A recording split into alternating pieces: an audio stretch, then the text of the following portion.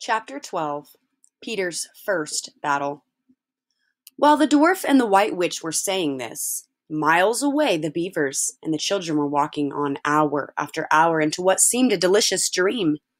Long ago they had left the coats behind them, and by now they had even stopped saying to one another, Look, there's a kingfisher, or I say bluebells, or What was that lovely smell? or just listen to that thrush.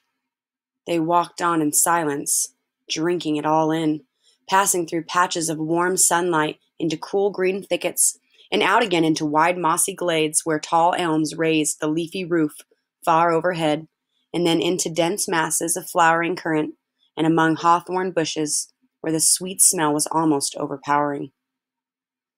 They had been just as surprised as Edmund when they saw the winter vanishing and the whole wood passing in a few hours or so from January to May. They hadn't even known for certain, as the witch did, that this was what would happen when Aslan came to Narnia.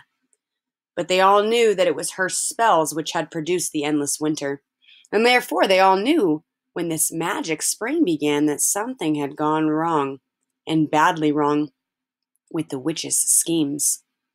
And after the thaw had been going on for some time, they all realized that the witch would no longer be able to use her sledge.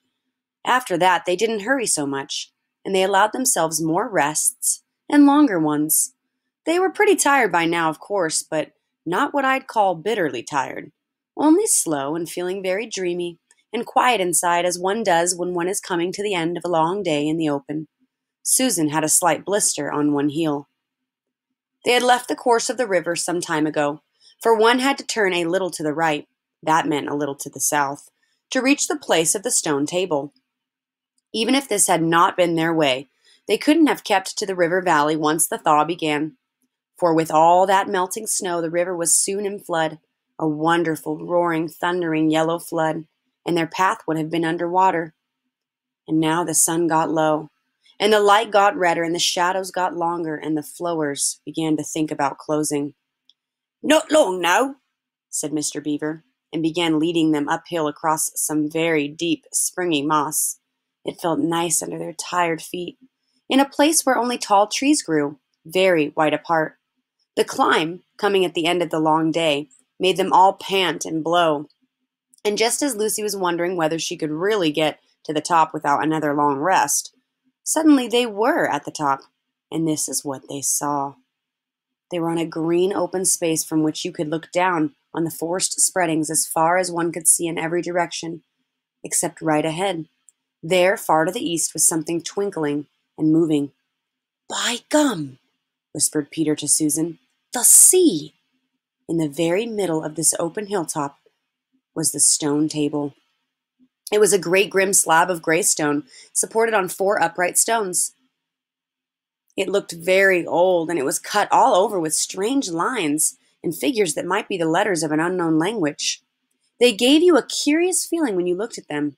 The next thing they saw was a pavilion, pitched on one side of the open place. A wonderful pavilion it was, and especially now when the light of the settling sun fell upon it, with the sides of what looked like yellow silk and cords of crimson, and tent pegs of ivory, and high above it on a pole a banner which bore a red rampant lion fluttering in the breeze, which was blowing in their faces from the far off sea. While they were looking in at this, they heard a sound of music on their right, and turning in that direction, they saw what they had come to see. Aslan stood in the center of a crowd of creatures who had grouped themselves around him in the shape of a half moon. There were tree women there, and well women, dryads and naiads, and that and they used to be called in our world, as they used to be called in our world, who had stringed instruments. It was they who had made the music. There were four great centaurs. The horse part of them was like huge English farm horses, and the man part was like stern but beautiful giants. There was also a unicorn and a bull with the head of a man and a pelican and an eagle and a great dog. And next to Aslan stood two lepers, of whom one carried his crown and the other his standard. But as for Aslan himself, the beavers and the children didn't know what to do or say when they saw him. People who have not been in Narnia sometimes think that A thing cannot be good and terrible at the same time.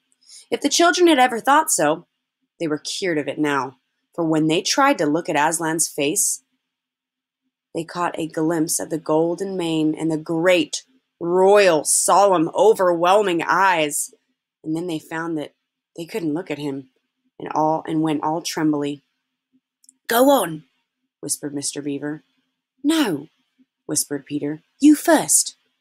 No, sons of Adam, before animals, whispered Mr. Beaver back again. Susan, whispered Peter. What about you? Ladies first? No, you're the oldest, whispered Susan. And of course, the longer they went on doing this, the more awkward they felt. Then at last Peter realized that it was up to him. He drew his sword and raised it to the salute, and hastily saying to the others, Come on, pull yourselves together. He advanced to the lion and said, We have come, Aslan. Welcome, Peter, son of Adam, said Aslan. Welcome, Susan and Lucy. Daughters of Eve, welcome, he beaver and she beaver.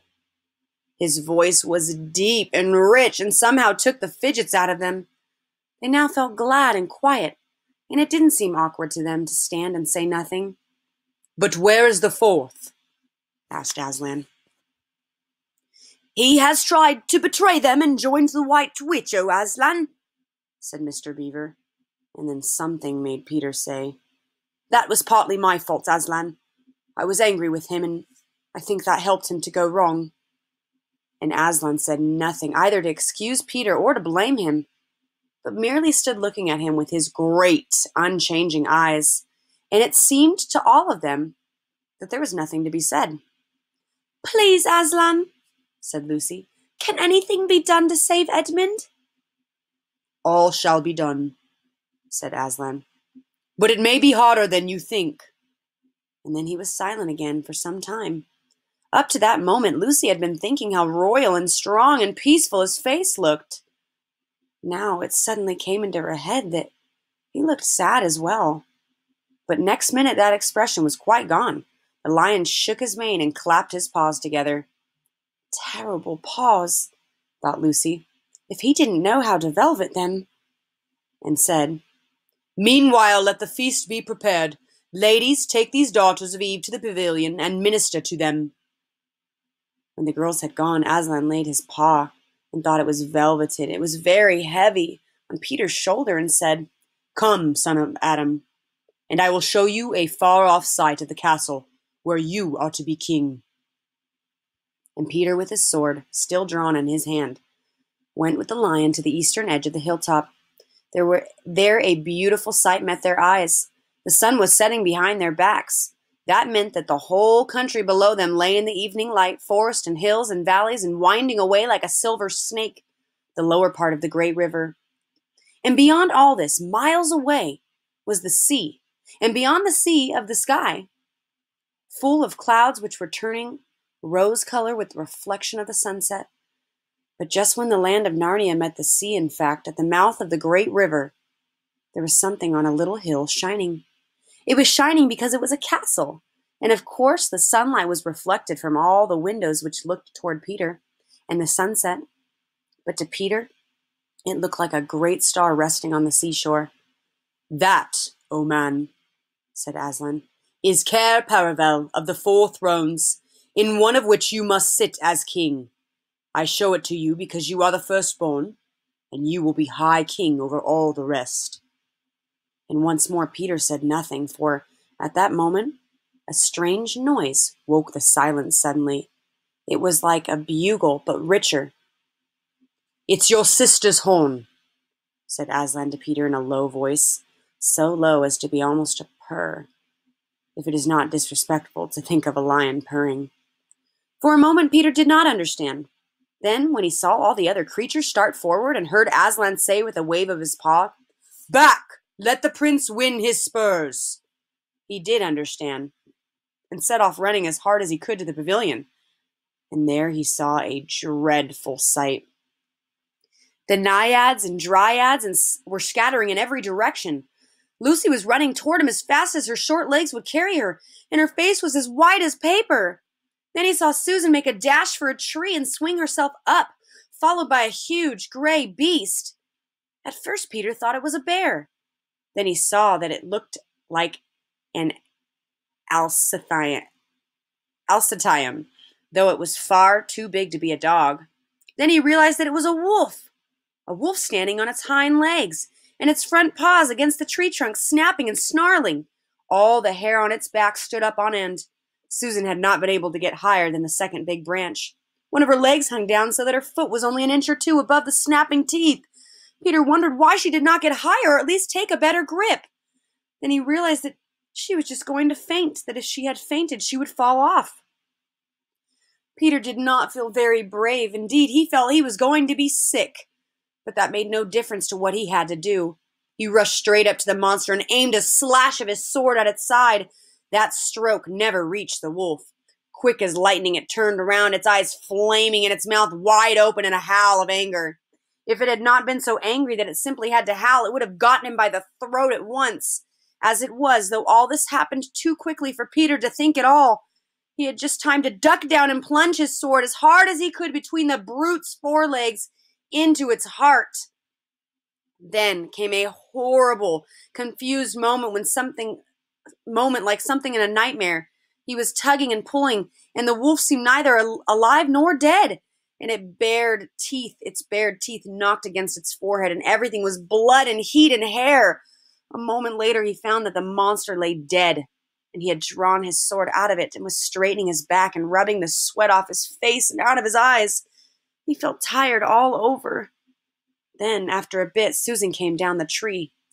She and Peter felt pretty shaky when they met, and I won't say there wasn't kissing and crying on both sides, but in Narnia, no one thinks any the worse of you for that. Quick! Quick! shouted the voice of Aslan. Centaurs! Eagles! I see another wolf in the thickets! There, behind you! He has just darted away. After him, all of you! He will be going to his mistress. Now is your chance to find the witch and rescue the fourth son of Adam. And instantly, with a thunder of hooves and beating of wings, a dozen or so of the swiftest creatures disappeared into the gathering darkness. Peter, still out of breath, turned and saw Aslan close, close at hand. You have forgotten to clean your sword, said Aslan. It was true. Peter blushed when he looked at this bright blade and saw it all smeared with the wolf's hair and blood. He stooped down and wiped it quite clean on the grass, and then wiped it quite dry on his coat. Hand it to me and kneel, son of Adam, said Aslan. And when Peter had done so, he struck him with the flat of the blade and said, Rise up, Sir Peter Wolfsbane, and whatever happens, never forget to wipe your sword.